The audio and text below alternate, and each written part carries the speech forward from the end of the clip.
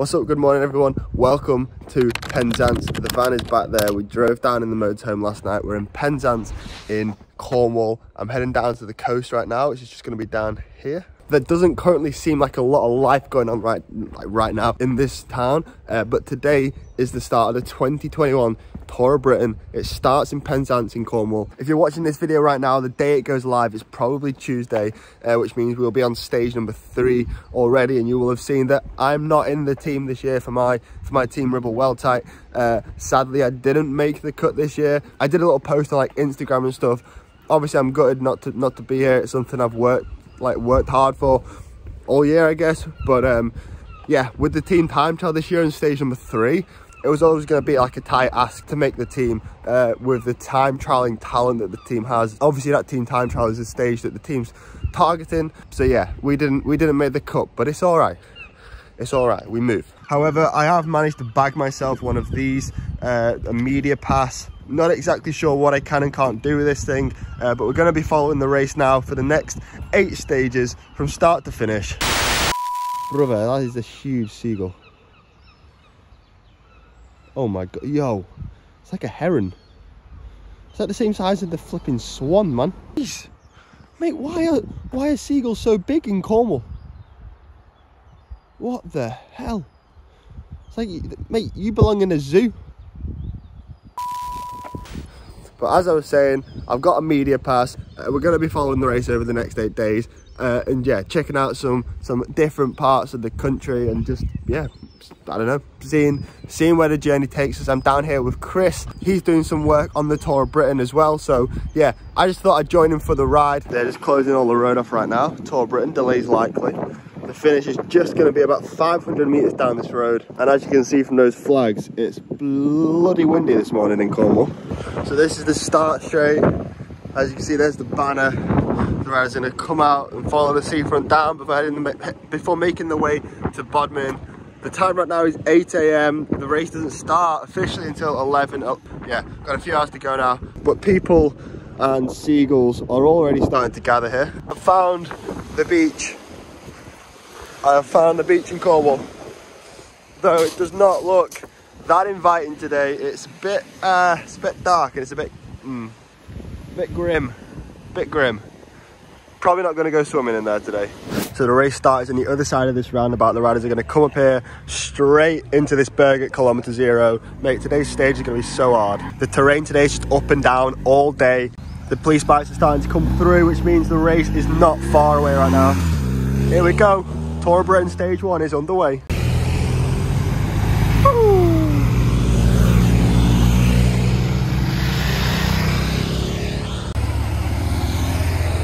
Here we go.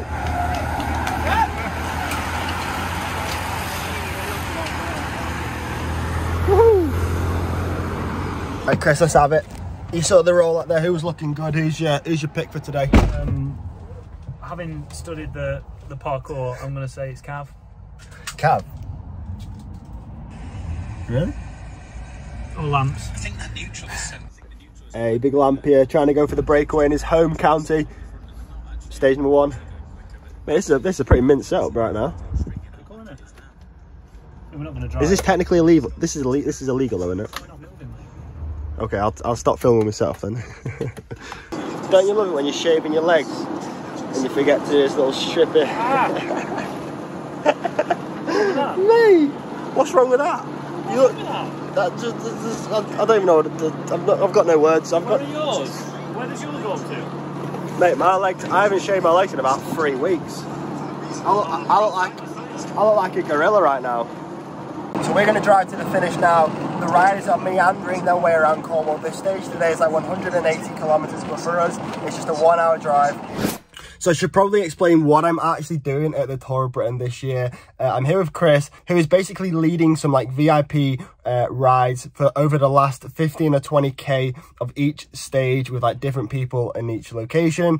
Uh, I'm not 100% sure as to exactly what Chris is doing. I'm not really involved in it, but I just thought that I would come along uh, for the journey and kind of, yeah, document from my perspective the Tour of Britain from the spectator side of the fence obviously I'd love to be racing in it uh, and I'm not gonna lie it is quite hard being here seeing the racing going on like knowing that I could be in that race and I'm not. But hey, that's what that's how things go sometimes. So we're in Bodmin right now. This is like the final 1.5k. As you can see, the riders are going to cut like descend. It's a, a tight left and a tight right hander down this hill. We've got some road furniture in the middle of the road.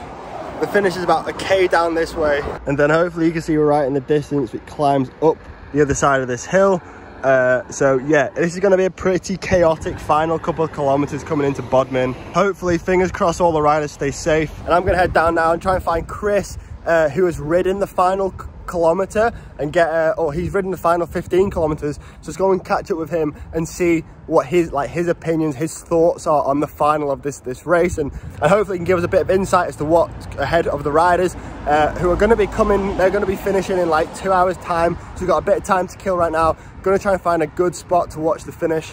Chris what, what's the last 15k like?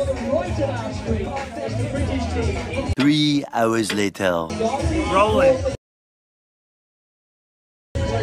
there's like one, two, maybe three, like really short, yeah. like 17, 18 percenters. And then coming up here. It's a technical finish, isn't it? Yeah, very. And really steep. Really so, steep. How's your pick change? Who's your pick for today? I'm going to go with Alaphilippe. Wow, and half. Or Ethan, Ethan Vernon. Chris so excited about his finish, he's not even watching. He's not even watching.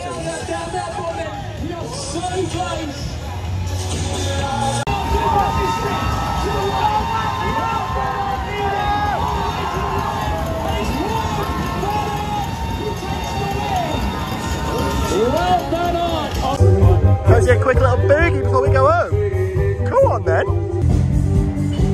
Yeah. Woo! Alright, Mr. Pritchard, what's the plan now? Where are we going?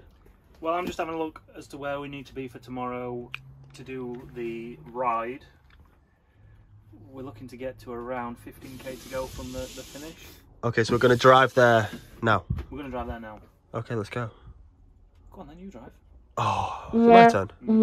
We made a quick stop on our voyage to stage two because last night between the three of us we managed to rinse through all the water in the motorhome in the showers. We've got no water for showers this evening. Uh, We've managed to find what?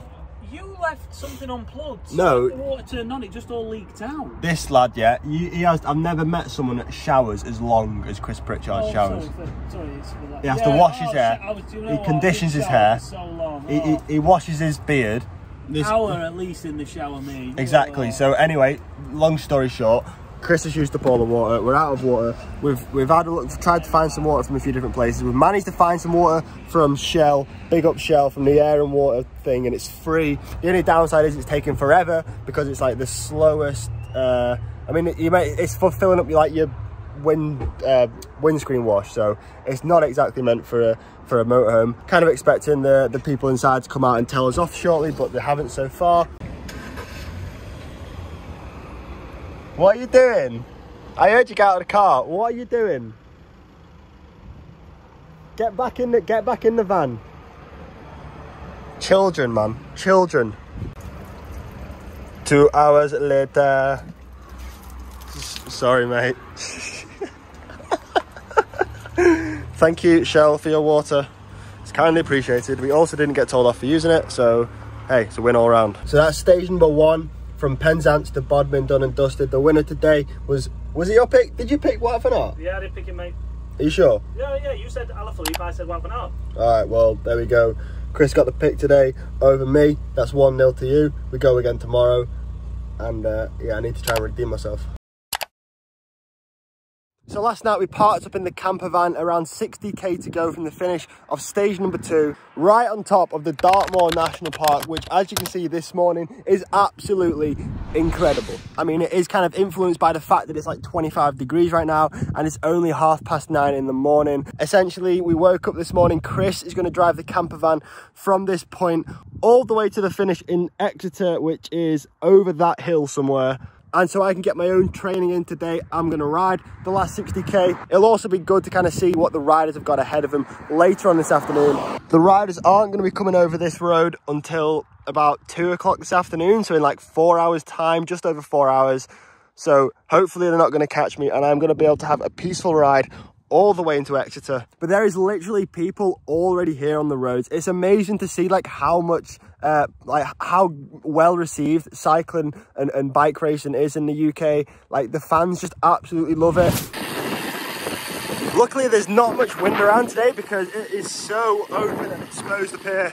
I can imagine it could be pretty grim if it was windy. We're at 40k to go right now. And I don't know how well you can see this on the camera, but this is a bloody berg. This is a bloody berg. There is a KOM point at the top of this, but I'm trying to take it easy and it ain't even, it ain't that easy at all. Especially 40k to go. The riders are gonna be absolutely smashing it up here. Hello sheep. you ready for the race? There's literally people everywhere waiting for the race. It's so sick. I hope this geezer don't get involved in the race. You stay back, you. Bosh. There's 15k to go sign. So it took about two hours to do the last 60k, but we made it. Uh, we're in Exeter now, found the camper van, and the boys somehow have managed to wangle the way in to the team parking area. Like, all of the team buses are down there. The Israel Startup Nation, like Ineos, Jumbo Visma, you name it.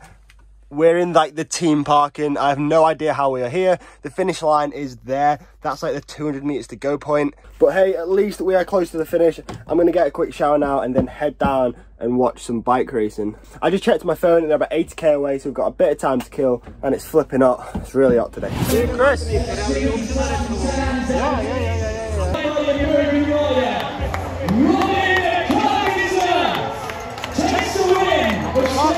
Of the AJ Canal Tour of Britain. What an incredible ride by the American. Now from Philadelphia, setting a big one. Not finishing his career there as well. What an impressive performance. We look back at our finishing track. Here comes the peloton. Look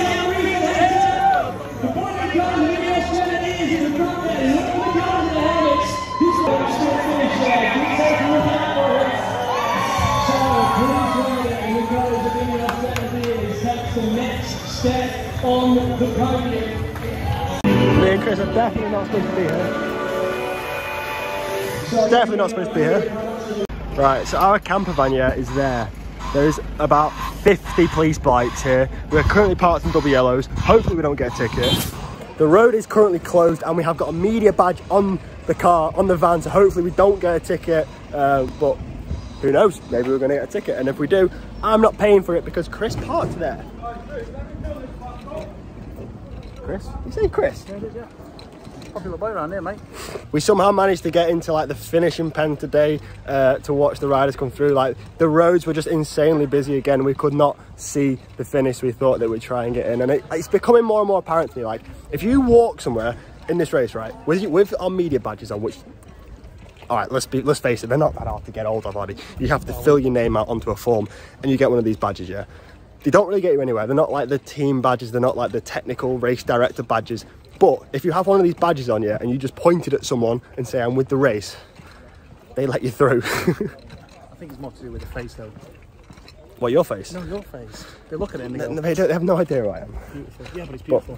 anyway we managed to uh, see ya See you later. we I'll managed you, Anne. we I'll text you about that jersey. Sorry. exclusive. but we managed to get into the finish zone. Uh, we watched Robin Carpenter take an emphatic solo victory and become the leader of the 2021 Tour of Britain of stage two, uh, after stage two. I called that one as well. No, you didn't. I did. No, you didn't. We didn't do a prediction today, actually. No, you did- you just didn't record it. Remember when I, this morning when I looked at the thing? We didn't said, do a prediction today. Robin It's Carpenter still 1 0 to Chris. Pritchard. I've got, how many more stages? I've got like six more stages Yeah. to bring it back. Team timed out tomorrow. Do you want to predict it tomorrow? Nah, that's tomorrow's video. You're gonna have to stay tuned for that. Like and subscribe. Rev it! Rev it! But right now the race is done and dusted and we're going to have a quick drink and something to eat in one of the UK's what can only be described as a British delicacy. You, you What? lying piece of shit. You just said you're not going to eat. Now we can, we can have, you can have that just for the video? Yeah, yeah, yeah, yeah. Oh, I Anyway, anyway, as I was saying- pub grub. One of one of the British Britain's most highly regarded delicacies, Wetherspoons. Mate, I'm from the northwest, and Wetherspoons, where I'm from, don't look like this. So last night we parked up here on the side of this main road, which was closed. So there was absolutely no one on it. It was dead quiet. And this morning, the road's back open again, and it is so busy and so noisy. But yeah, this is this was home for last night. I didn't end the video then uh, because we'd been driving for like five hours and it was pitch black and you couldn't see anything so I thought I would just end the video this morning. So thank you for watching. Uh, we're now in Wales. We're going to continue our voyage in Wales today so you have to stay tuned for that in the next video. I'll see you then. Peace. Yeah, get my bop on. If she needs some good, good, tell her she can hop on. She know I'm the top dog. I know she a hot one. Balenci's on the feet, and you know I got the socks on. She Yeah, said with my hot sauce, she ain't with no knockoff. See them, we gon' pop off.